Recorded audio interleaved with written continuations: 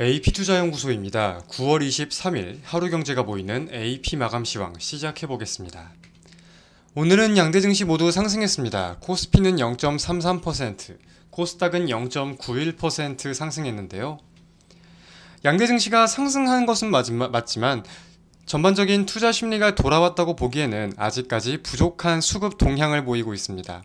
금일 양대 증시를 도합해 상승 종목과 하락 종목은 모두 약 1200개로 전반적인 종목들에 대한 투자 심리가 긍정적이다 라고 보기는 살짝 애매했는데요.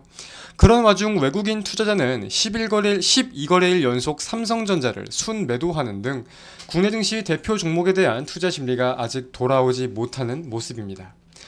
이 길에는 금투세 토론과 KRX 밸류업 지수에 대한 내용들이 발표될 예정입니다.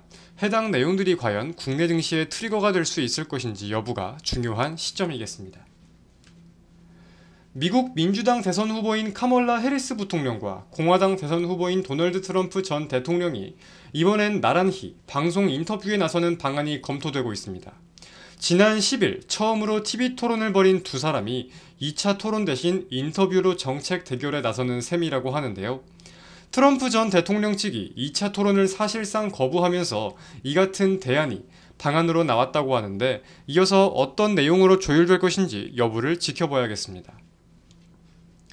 이스라엘과 헤즈볼라 간 무력 충돌이 전면적으로 치달을 수 있다는 우려가 커지는 가운데 이스라엘이 레바논 남부에 대해 대대적인 공습을 재개했습니다. CNN 타임스 오브 이스라엘 등에 따르면 이스라엘 방위군 IDF는 현재 레바논 헤즈볼라 목표물에 대해 광범위한 공습을 실시하고 있다고 밝혔는데 IDF는 이날 아침부터 레바논에서 헤즈볼라 목표물을 150개 이상 공습했으며 전투기 수십 대가 동원되었다고 발표했습니다. 오늘의 특징 테마입니다. 오늘은 해운 관련주, 자율주행 관련주 강세를 보였습니다.